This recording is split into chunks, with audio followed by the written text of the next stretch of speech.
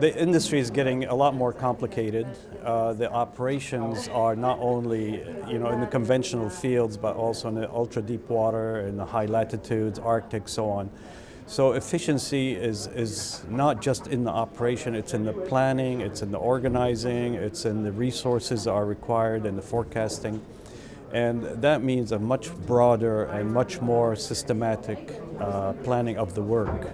And this is a challenge because if the although oil prices are soft and the supply seems to be flat, nevertheless the complexity is increasing. So the demand on people and resources is increasing and the need to integrate is also increasing. And as you heard, uh, the client, the service company needs to work very closely with the owners of the assets and the owners of the asset themselves are stretched. So this is a very uh, slowly but uh, systematically evolving reality that it's going to be harder and harder to produce. What's happened in the industry in general is the easier conventional oil fields have been pretty much uh, matured.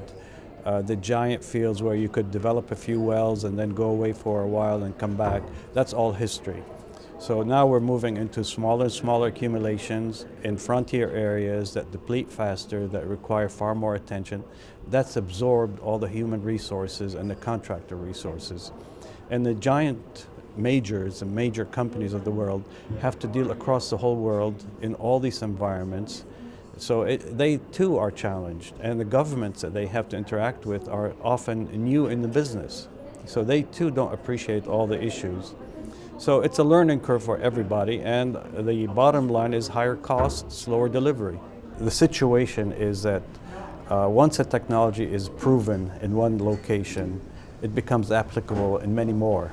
And uh, so if we take the situation or the technology associated with deep offshore, that was uh, developed in the Gulf of Mexico.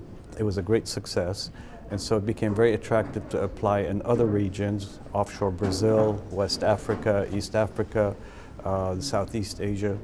And that then called for a lot more resources from the service companies that had to scale up um, and try to meet all the requirements, which is very difficult. So the demand came up, the services cannot respond fast enough, the costs go up because then all of these areas are competing, and ultimately that will drive prices higher because the costs are going to climb. So this is the reality of the industry uh, going forward.